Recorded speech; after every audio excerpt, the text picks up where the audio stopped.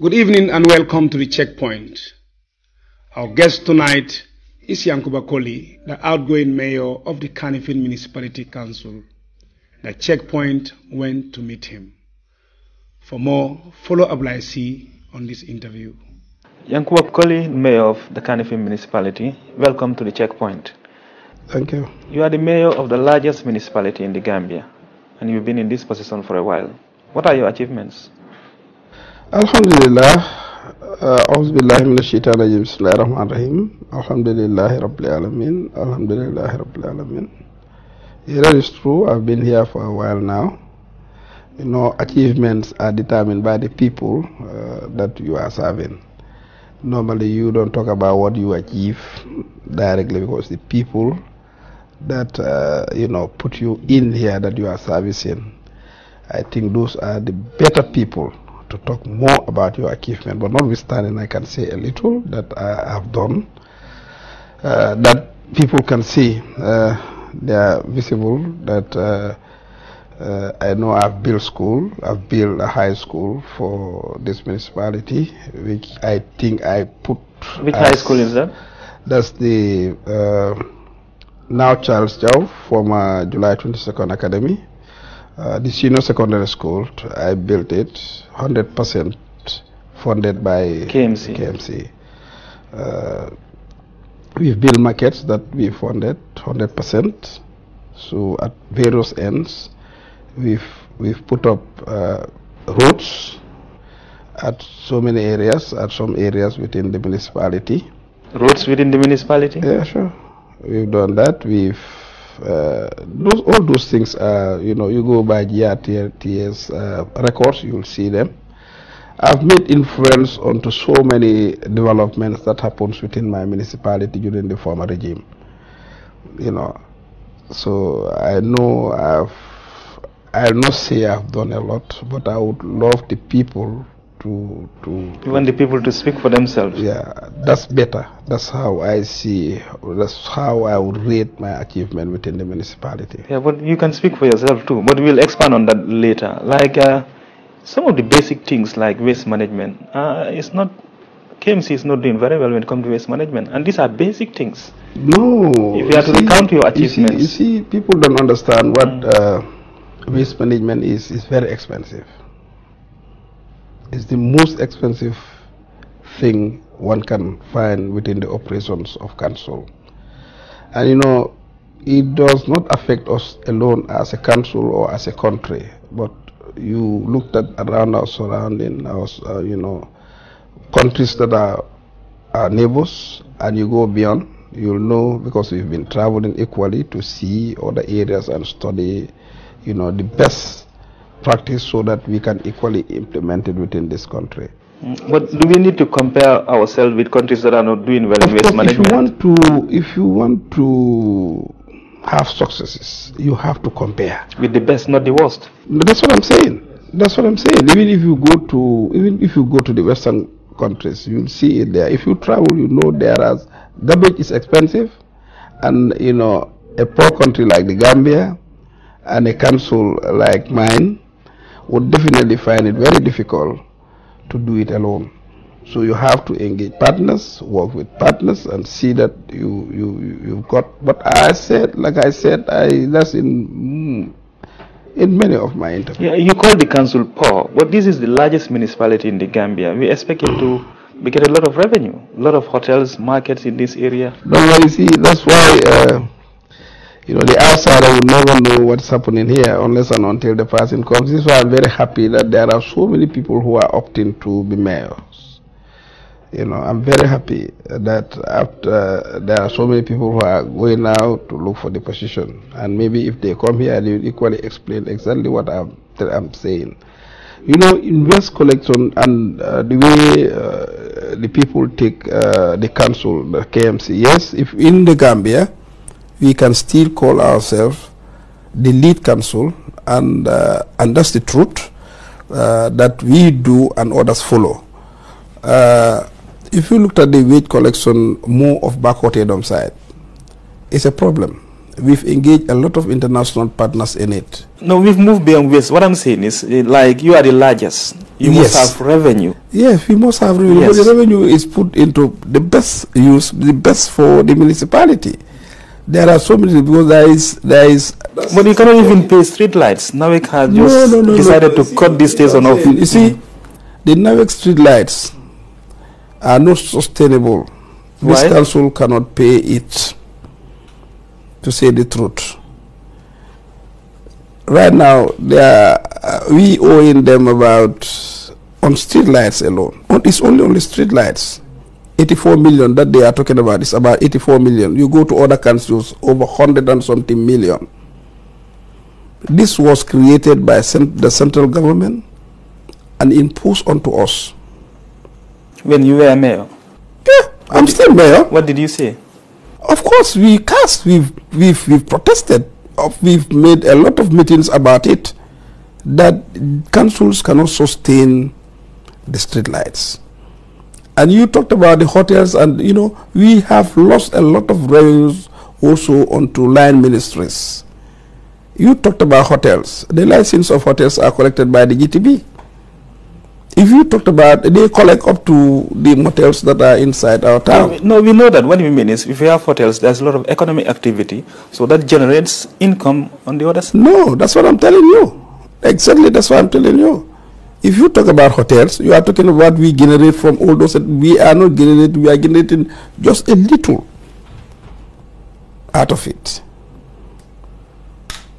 So uh, most people uh, may take it that way, but for us in council, we know, and as, and I know my administration. But is that I'm not honest a- to my to my to my to the people that I'm leading. Yes, is that not a pessimistic way of looking at it? That this thing there is no solution. No, that, you see, Because uh, we're saying if other com- other people come in, you are happy they are running for mayor. When they come, they're gonna find the same challenges. yeah, because it's a challenge. That's a pessimistic That's life. way of looking at it. No, no, no, that's life. You know, you do what is best or you think is the best of your ability, and anybody who comes next continues from that point. Like whatever we have done, uh, or I have during my time, uh, anybody who comes in will start from that point and continue.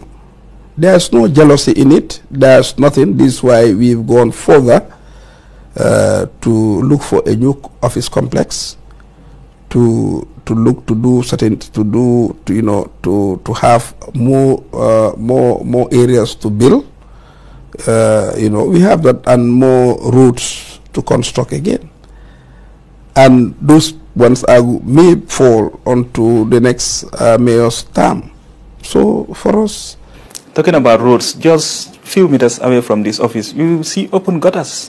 Yeah, those you know there are some areas that are not the responsibilities of the municipality. Those are for the center. You know, you have a secondary road.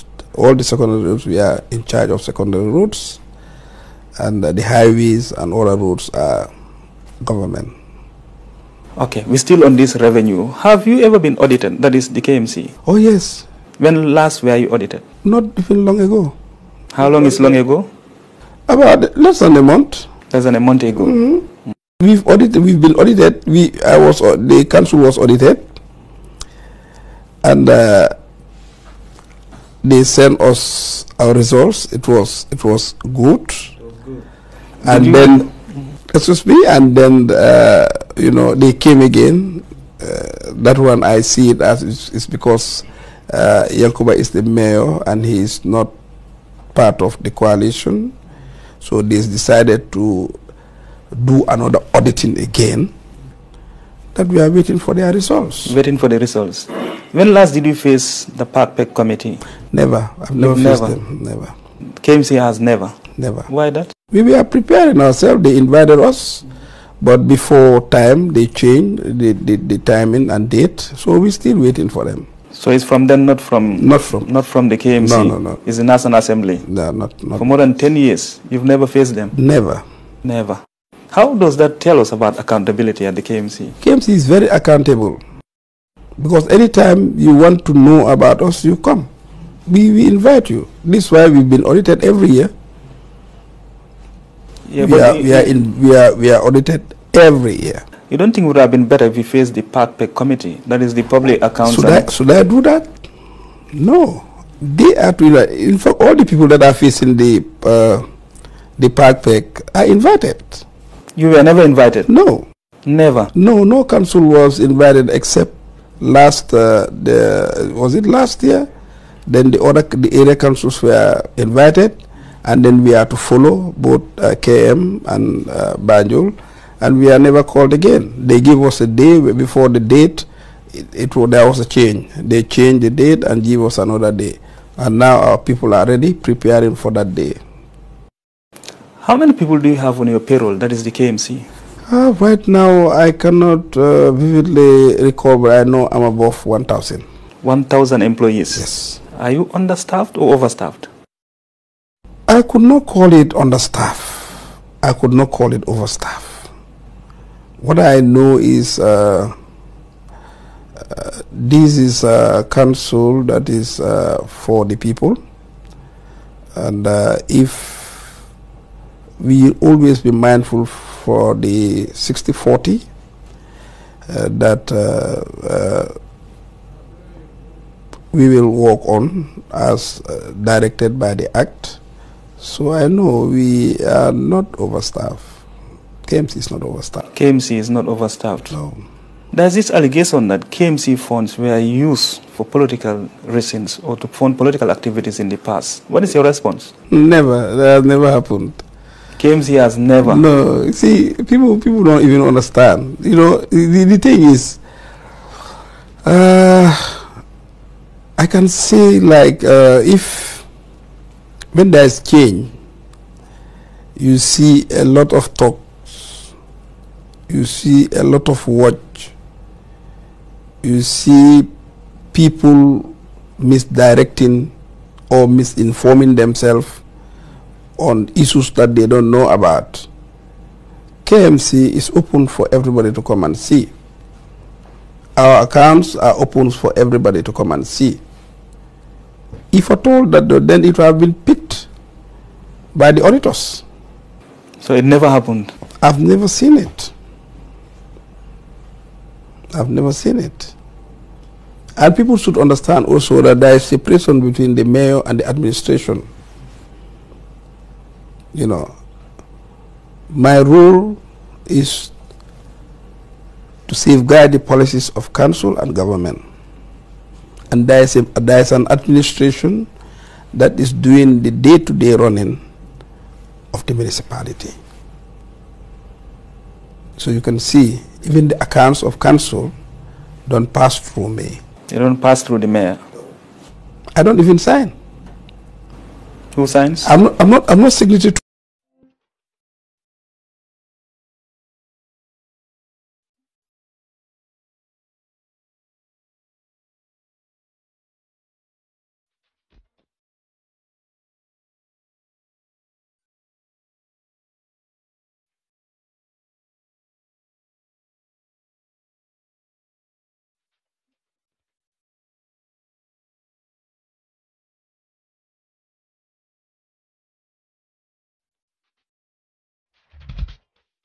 Good evening and welcome to the checkpoint. Our guest tonight is Yankuba Colley, the outgoing mayor of the Kanifing Municipality Council. The checkpoint went to meet him. For more, follow up Ablaisi on this interview. Yankuba Colley, mayor of the Kanifing Municipality, welcome to the checkpoint. Thank you. You are the mayor of the largest municipality in the Gambia, and you've been in this position for a while. What are your achievements? alhamdulilah uh, ahousubillahi min asheitan rajim bismillahi rahmani rahim alhamdulillahi rabbil alamin. Alhamdulillahi rabbil alamin. That is true. I've been here for a while now. You know achievements are determined by the people uh, that you are serving. Normally you don't talk about what you achieve directly because the people that uh, you know put you in here that you are servicing i think those are the better people to talk more about your achievement, but notwithstanding, I can say a little that I have done uh, that people can see. Uh, they are visible, that uh, Uh, I know I've built school. I've built a high school for this municipality, which I think I put. Which high school is that? That's the uh, now Charles Chow, former July 22nd Academy. Uh, the senior secondary school, I built it 100% funded by KMC. KMC. Uh, we've built markets that we funded 100%. So at various ends, we've we've put up uh, roads at so many areas, at some areas within the municipality. Roads within the municipality? Yeah, sure. We've done that. We've uh, those all those things are you know you go by GRTS uh, records, you'll see them. I've made influence onto so many developments that happens within my municipality during the former regime. You know, so I know I've I'll not say I've done a lot, but I would love the people to to the people to speak for themselves? yeah, that's better. That's how I see. That's how I would rate my achievement within the municipality. Yeah, but you can speak for yourself too. But we'll expand on that later. Like uh, some of the basic things like waste management. Uh, it's not KMC is not doing very well when it comes to waste management, and these are basic things. No. If you have to recount your you see- achievements. You see, people don't understand what uh, waste management is. It's very expensive. It's the most expensive thing one can find within the operations of council. And you know, it does not affect us alone as a council or as a country, but you looked at around our surrounding, our, uh, you know, countries that are our neighbors, and you go beyond, you'll know because we've been traveling equally to see other areas and study, you know, the best practice so that we can equally implement it within this country. Mm, But do we need to compare ourselves with countries that are not doing well in waste course, if you want to, if you want to have successes, you have to compare. With the best, not the worst. But That's what I'm saying. That's what I'm saying. Even if you go to, even if you go to the Western countries, you'll see it there. If you travel, you know there are garbage is expensive, and you know a poor country like the Gambia and a council like mine would definitely find it very difficult to do it alone.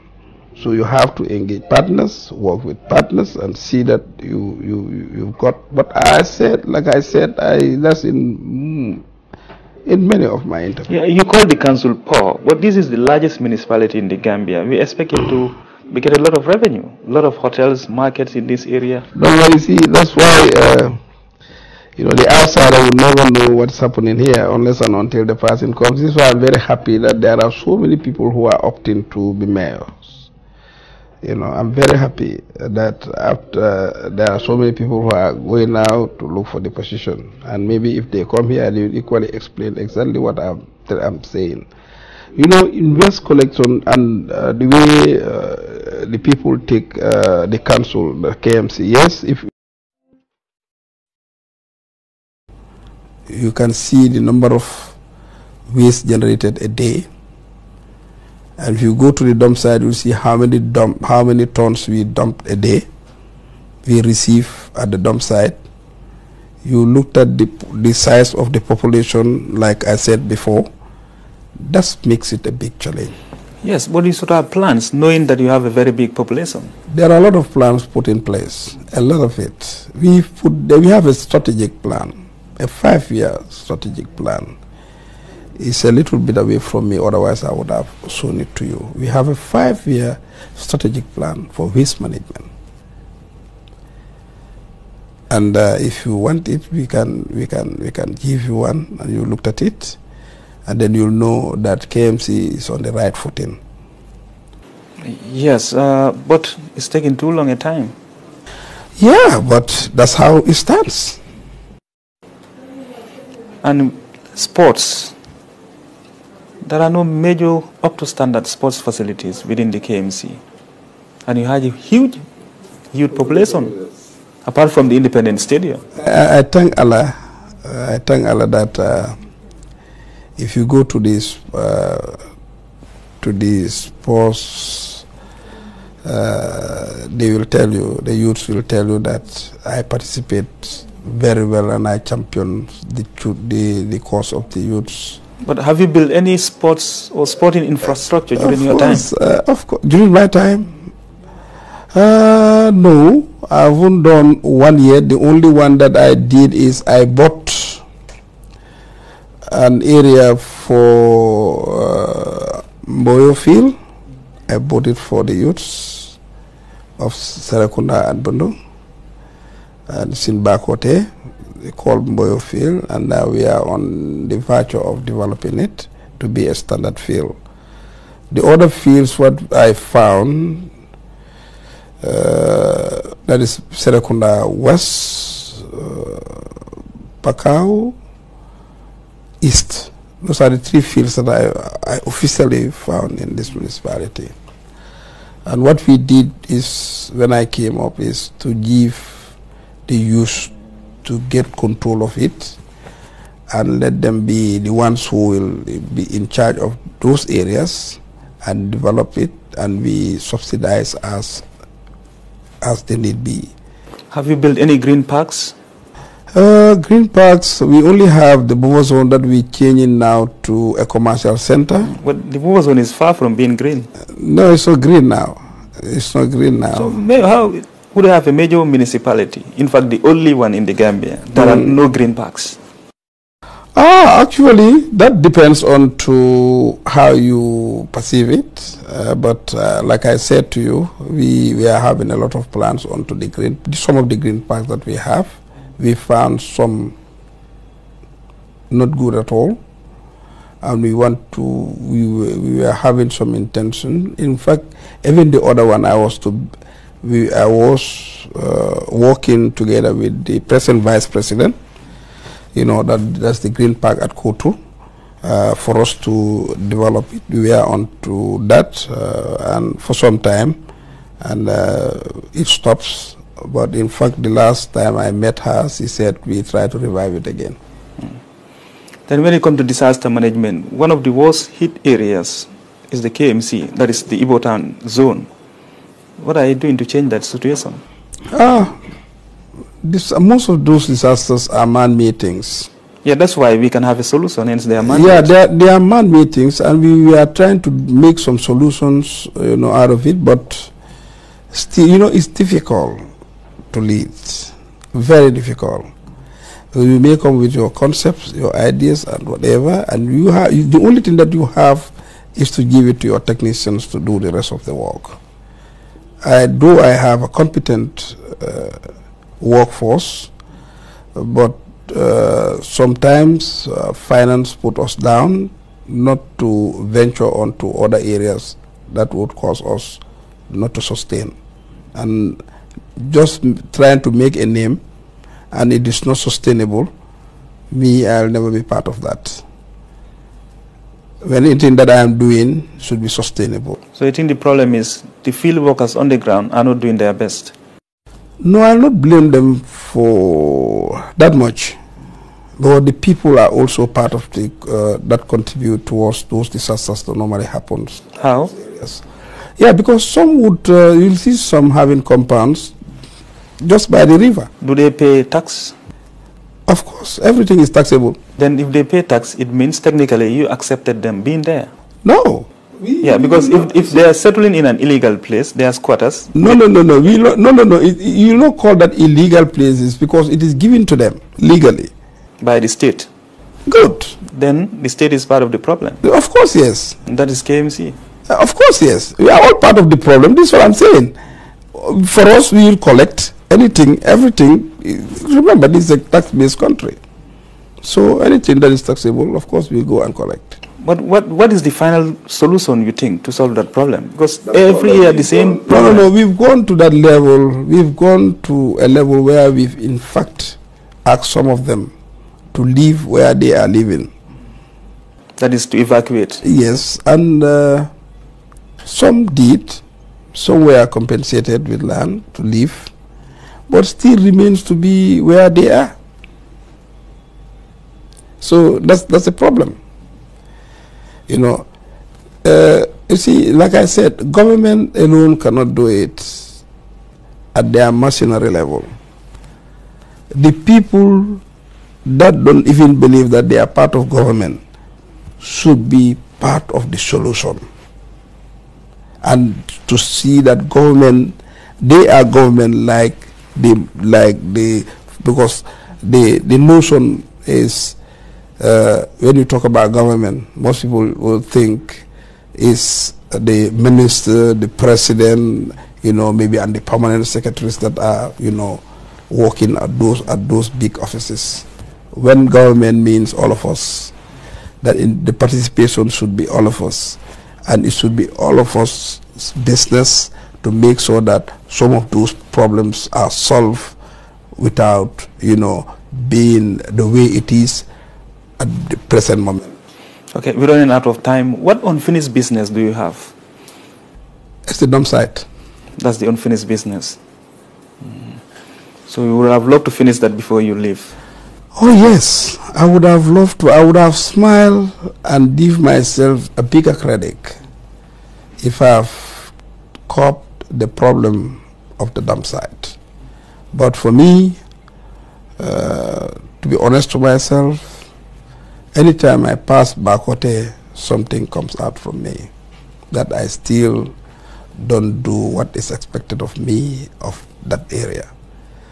For that one, I would honestly say it, yes. And what's your message to the incoming mayor? Uh, for them to prepare uh, and uh, you see, uh, to tell them uh, that I would equally love for them to come uh, because it's not one person who will complete everything. Let them come where I stop they do better than I do, and uh, maybe the one following, uh, the one coming in, also does the same thing, and then we have a municipality that everybody would enjoy tomorrow. For me, that's how I'm seeing it. I'm not jealous of anybody who is to come.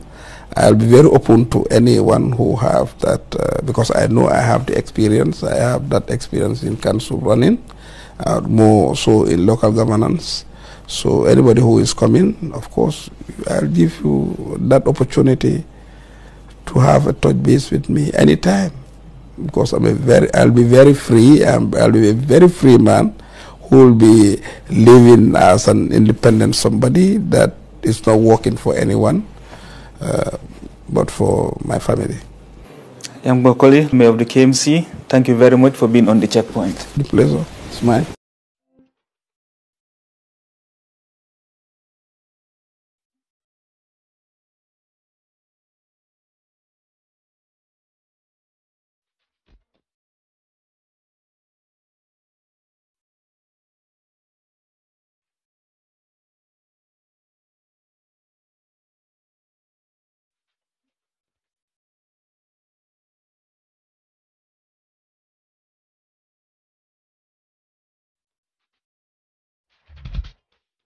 Good evening and welcome to the checkpoint.